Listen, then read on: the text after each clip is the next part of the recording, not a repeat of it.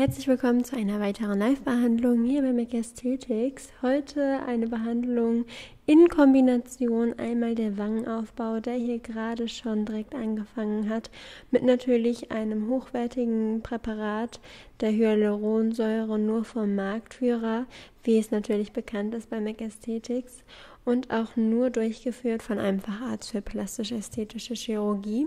Das ist einmal die erste Behandlung und jetzt geht es auch direkt weiter mit der Joe-Line, da unsere Patientin sich ein markantes und auffälliges Gesicht wünscht, ähm, wird das in Kombination jetzt durchgeführt.